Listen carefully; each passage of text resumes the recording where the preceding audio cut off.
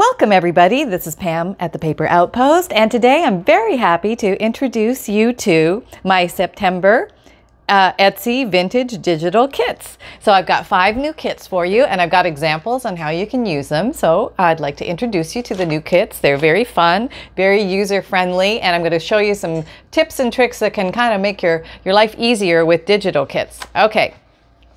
So the first kit is Woodland Creatures. Okay. So I'm just to take that out so you can see it. And uh, what I did was um, uh, I printed out woodland creatures on cardstock, white cardstock. That way I can just go ahead and cut them out, fussy cut them out, use my guillotine to cut them out, or and um, just decorate them up and they're instant journal cards or tags or things like that. Or you can use them as pockets or tucks because they have enough structure when you put them on cardstock to do that.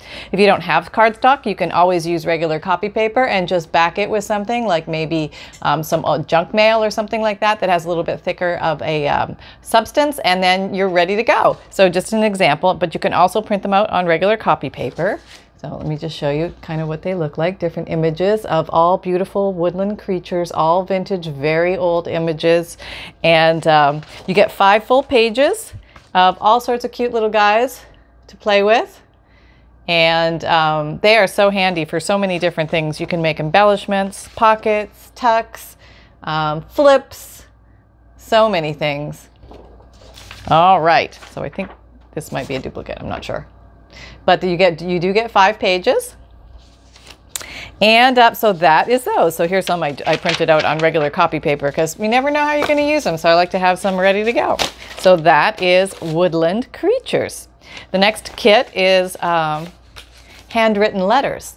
So what I did with handwritten letters was I put some handwritten letters, um, some very old letters. These are from 1898, um, different ages, 1911, uh, and um, I, what I did was I put the letters down and then I put more letters behind them. So you can either choose to cut the individual letter out and use it in your journal, or you can use the whole page as um, a page in your signature. So you have a choice there, give you a little creativity and variety. And just show you some different examples of letters we have, different calligraphy, different handwriting, different topics. Some are in English, some are in French, um, some are blue, some are cream, uh, vanilla colored, caramel colored ones, um, fancy letters, not so fancy letters. I try and, uh, tried to give you a nice variety to pick and play with. And I'll show you how I use some of those when we uh, go through the little example book here. Uh, the next one is uh, close to my heart. This I call music, just so it's easy to find for you. But these are all handwritten notes by a student in music. And the actual student happened to be my dad. And uh, he was a violin student. And um, here's some of his music that he hand wrote out. And uh, that's the way it was done. Yep, that's the way it was done. You didn't sit there and just get the printed off sheets. No, you got had to learn how to do the handwriting of the music and write it all yourself. So uh, you get five individual uh, sheets. This one's called The Beauty of Russia. And um, so uh, different examples of different handwritten music. You can also use these as full pages. You can use these to uh, cover a journal. You can uh, make so many, you can use them for collage. Uh, millions and ones, millions and ones things you can do with them. And I will show you examples. Okay, so that is music. The next one, old checks. I made some old, I, made, I didn't make old checks. I um, uh, made a DigiKit out of old checks. And some of these checks are so cool. Um, 1923, here's one from 1871. 1873. And what I wanted to show you with the old checks, and this is a little tip if you're working with DigiKits and you're not super fancy with a lot of extra software, most printers, I'll just show you the pages as we go through, most printers have a setting where you can do full page, five by seven, four by six, um, so or shrink to fit, different things like that you're going to see on your actual printer settings. And even without a lot of fancy Microsoft Publisher or, or Adobe um, uh, Photoshop or anything like that or Elements, you can change the size of your images. So here's the regular big ones. All right, that's the normal size. This is the actual size of the checks. They were pretty big. But then I just, uh, I think I did five by seven or four by six here. So you can see how much it shrinks it down. So if you want smaller checks or smaller images, you can uh, do something like that. Okay. Which uh, is very handy depending on what you're making and what you're doing. Because sometimes we need big things and sometimes we need small things. So that can give you some ideas on how you can play with your images very easily. Okay. And uh, last but not least, we have positive words. Yes, um, I had this great list of positive words, and um, I made a list of um, all sorts of positive words. And then this one I actually printed out on a piece of coffee paper, coffee dyed paper. Oh, let me show you close. Sorry. And you can see it's all sorts of different types of positive inspirational words. And I always find it's so handy to have lists of words and you can you can actually tear these into columns and then just tear off the bottom word as you need it. You can cut them out, you can tear them out, so many ways to use it. But I wanted to give you some options. Well, let me back out a little bit. Okay, so I gave you one with a, a pink background, okay, with white wording. Then you get a lovely nature green background with leaves in the background. Okay. And then I gave you, this one is called Antique Paper. So it's kind of a vanilla, vanilla, French vanilla tinted paper color. All right. And then this one is a blue, a nice um, rustic, uh, I want to call it like ledger blue was an aged vintage blue color. And then of course, uh, a plain one so that if you want to put this on any paper that you want, you can also do that and use any background that way as well. Or, or play with it in your software and things like that and put different backgrounds. So lots of things to play with here. And let me give you some examples of uh, how I did this. Okay, do I need to zoom in? Let me see. Okay, let me stand up, it's probably better. Okay. All right, so the first one, what I did was I made a little pouch. And uh, this little pouch has two letters tucked into it that I made. I just cut them out and I used a, um, oh, where is it? The little, these scissors to cut around the edge and just give it a little uh, torn edge or you could just tear the edge and uh, inked it up a little bit to make it look like an old letter. And this is from, I think 1912, if I can read that right. And um, here's another letter in there from 1921. And then I just tucked a couple stamps in here. And the actual uh, little pouch in the front is one of the woodland creatures. And I just did some faux sewing on it and just um, cut, punched a little thumb hole in it with my handy dandy one inch circle punch and glued it on there and tucked some fun things in there. And then I also tucked fun things in here. It could be, this I just sewed around and made it an instant little pouch. Okay. And uh, so I put some of the old checks in here, got some old checks, and I put some writing paper in there um, just for fun. Just for something fun for somebody to explore and find in their journal.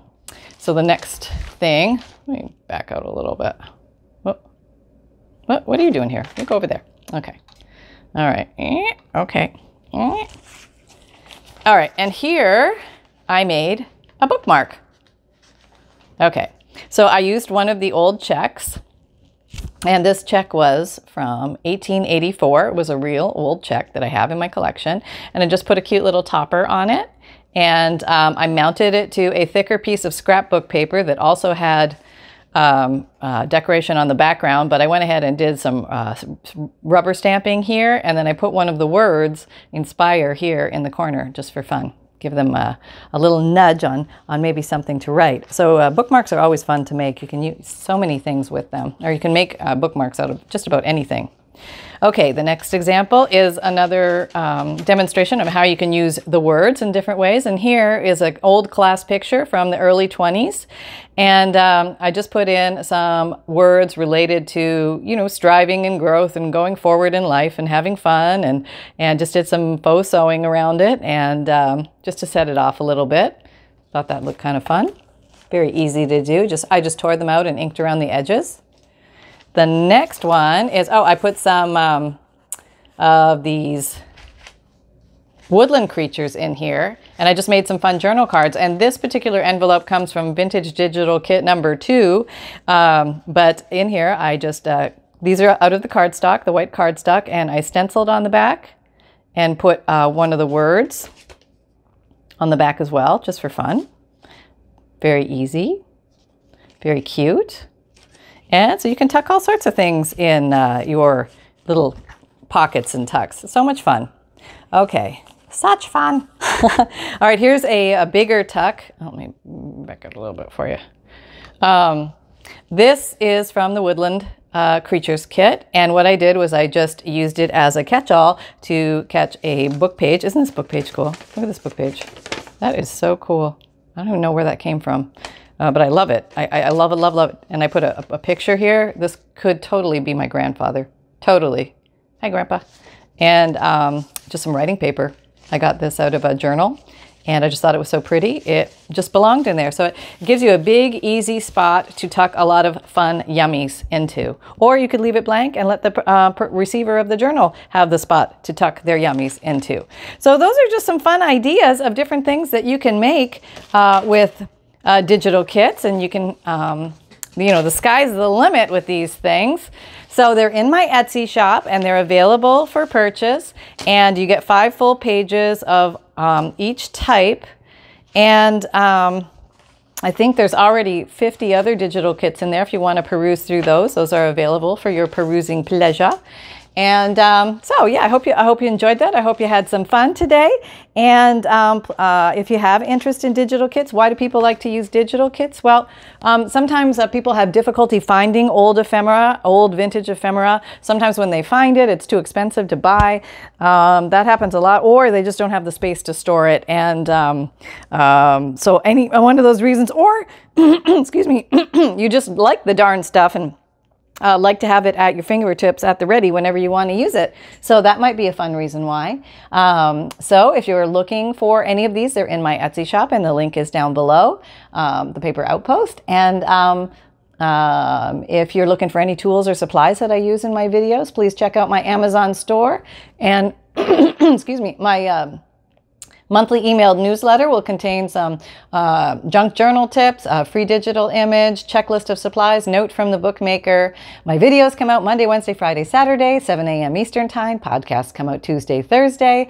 Um, they're audio and they are free to listen to. My playlists are found uh, below or at the um, at the end of the videos. You can find different categories of videos to watch. And um, uh, you can also find me on Instagram, Pinterest, Etsy, Twitter, LinkedIn, Facebook. And then come on, join our Facebook group. We're having so much fun over there doing weekly and monthly challenges. And you're welcome to lurk or share your ideas and thoughts on junk journals and junk journal making. And um, it's a very fun, creative, supportive place. And uh, so if you find value here, please like, subscribe, and share this video. Hit the notification bell. And remember that fun can be simple. And create with reckless abandon, everybody. Go have some fun today because you deserve it. Take care, everyone. Bye-bye.